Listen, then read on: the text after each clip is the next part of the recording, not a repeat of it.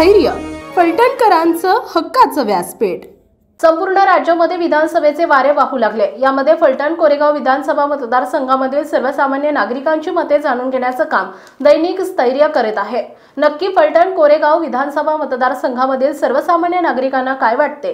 सर्वसामान्य नागरिकांची मते काय आहेत याचा आढावा घेण्यात आला आहे. तर नक्की काय म्हणतायत नागरिक? आपण पाहूया सविस्तर. आज आपण आहोत राजुरी गावामध्ये. राजुरी गावातील नागरिकांच्या भूमिका काय आहेत विधानसभेबाबत? त्या आपण जाणून घेणार आहोत. तुमची काय भूमिका आहे? तुम्ही रणजितदादांसोबत आहेत की रामराजेंसोबत? रणजित दादांसोबत. त्यांच्यासोबत काय कारण का तर दादांनी चांगली कामं केलेत. अं, आमच्या राजुरी गावात अं, सातबावाडा ते मिसाळ वस्ती रोड एक कोटी तीस लाखाचा रोड मंजूर करून आणला आहे तसेच पासष्ट लाखात जलजीवन योजना अंमलात आणली. आणि बांधकाम कामगार योजना अडीचशे महिलांना भांडी वाटपाचा कार्यक्रम दादांच्या माध्यमातून झाला आहे. म्हणून त्यांच्यासोबत आहे. त्यांच्यासोबत. तुमची काय भूमिका आहे?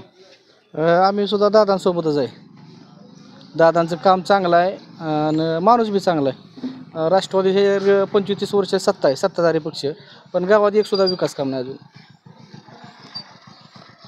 तुमची काय भूमिका आहे? रणजितदादाच नकच रणजितदादांनी कामं केलेत. कामं करतो म्हणले की दादा कामच करतात.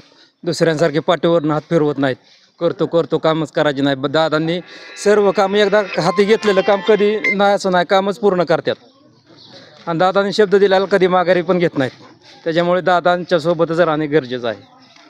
तुम्ही रणजितदादांसोबत आहेत की रामराजेंच्या सोबत? रामराजासोबत आहे. आम्ही पहिल्यापासून त्यांचंच काम करतो. आणि गावाचा विकास वगैरे काय असेल जे काही काम असते ते आम्ही त्यांच्याकडे जाऊन त्यांच्याकडूनच कामं करून घेतो. बरं. तुम्ही कोणाच्या सोबत आहात? रामराजे. तुम्ही कोणाच्या सोबत आहे? महाराज साहेब. तुम्ही कोणाच्या सोबत आहे? महाराज साहेब. तुम्ही कोणाच्या सोबत आहे? मी दीपक चव्हाण साहेब. रामराजे साहेब दीपक चव्हाण. त्यांच्यासोबत काय आहे तुम्ही? अ, पहिल्यापासूनच आहे त्यांच्या गटाचं काम करणारे आम्ही माणसं. त्यांचं नेतृत्व चांगलं आहे. किंवा त्यांची भूमिका तळागाळातल्या लोकांपर्यंत चांगली असती. किंवा मागण्या केलेल्या रोडच्या किंवा मंदिराचं समाज मंदिर किंवा भैरवनाथाचा मंडप किंवा ही वीस बावीस कोटीचं रोड दिल्यात आता त्यांनी महाराज साहेबांच्या माध्यमातून. त्याच्यामुळे काय अडचण नाही. मागासवर्गीयांना निधी ब- पाहिजे तसा मिळतो. मागासवर्गीयांची कामं पोरांची होत्यात. कारखान्यात आता पंचवीस पोरांची कामं केलेत महाराज साहेबांनी. आणि ऑर्डरी देऊन. त्याच्यामुळं काय अडचण नाही त्यांच्याबद्दल आमचा रुसवा. किती जरी काय केलं तरी आम्ही महाराज साहेबांचंच आहे. आणि दीपक चव्हाण असं आहेत की तळागाळातल्या दवाखान्यापर्यंत देखील त्यांनी म्हणजे मदती केलेली माणसं आहेत. सामान्य माणसासारखं फोन करून सुसणला म्हणा कुठल्या दवाखान्यात. पेशंट मरणाच्या अवस्थेतलं त्या दीपक चव्हाणांनी वाचवलं आहे सामान्य माणसाने फोन केला तर त्यांनी डॉक्टरला फोन करायचा सुसनच्या की बाबा ही पेशंट वाचलं पाहिजे माझं पेशंट आहे. मी त्यांनी असं ब- मतभेद ठेवला नाही अजिबात. त्याच्यामुळं त्यांचं संस्कार आमच्याबद्दल चांगला आहेत मत चांगलं आहे.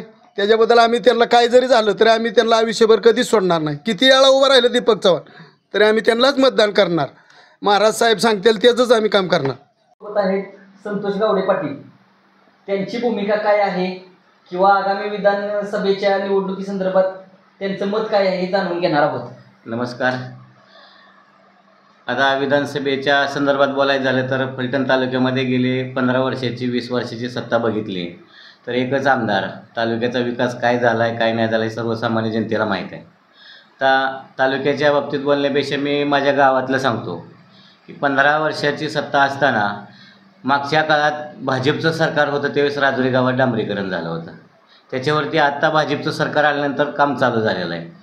म्हणजे जर मागं भाजपचं सरकार होतं राजुरीत बा डांबरीचं काम झालं आणि आजही भाजपचं सरकार आल्यानंतरच जर डांबर पडत असेल तर राजुरी गावातली जनता शंभर टक्के रणजित नाईक निंबाळकर यांच्या मागं खंबीरपणे उभ्या राहिल्याशिवाय राहणार नाही. आणि दादाने ह्याच्यापेक्षा असंख्य कामं केलेली आहेत. तालुक्याची केलेली आहेत गावाची के रेल्वेसारखा प्रश्न असेल निरादेवगडचा प्रश्न असेल असे भरपूर कामं एम आय फलटण पूर्व भागात एम आय डी नायगमाठी सारख्या ठिकाणी एम आय डी सी आणली.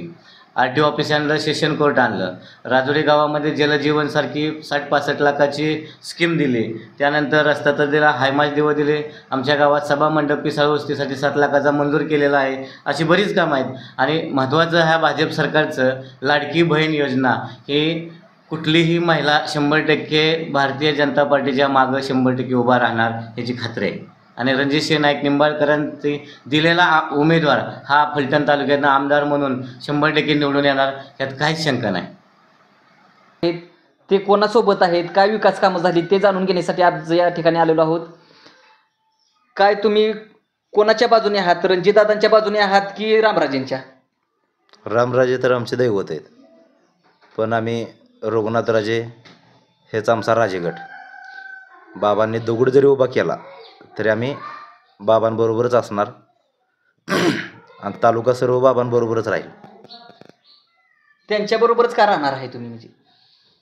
त्यांच्याबरोबर राहायचं कारण म्हणजे आज माझ्यासारखा सामान्य कार्यकर्ता जरी बंगल्यावरती गेला किंवा तालुक्यातला कोणताही कार्यकर्ता बंगल्यावरती गेला तर त्याचं प्रथम जो काय प्रश्न असेल त्याला प्राधान्य देऊन बाबा क्विकमध्ये फोन लावून किंवा कोणता तरी माणूस लावून त्याचा प्रश्न सोडवला जातो. मग पंचायत समिती असो नगरपालिका असो किंवा पोलीस स्टेशन असो किंवा तालुका जिल्ह्यातला कोणताही प्रश्न असो. ह्या संजूबाबा असतील महाराज साहेब असतील किंवा बाबा असतील कोणत्याही ठिकाणी जावा तुमचा प्रश्नाचं निरसन शंभर टक्के केलं जातं. आणि अजून सामान्य माणसाला याच्या व्यतिरिक्त काय पाहिजे? त्यामुळं आम्ही शंभर टक्के राजगटासोबत आहे. आपल्या परिसरातील ताज्या आणि महत्त्वाच्या बातम्या पाहण्यासाठी स्थैर्य न्यूज चॅनलला यूट्यूबवर सबस्क्राईब करा आणि बेल आयकॉन प्रेस करा.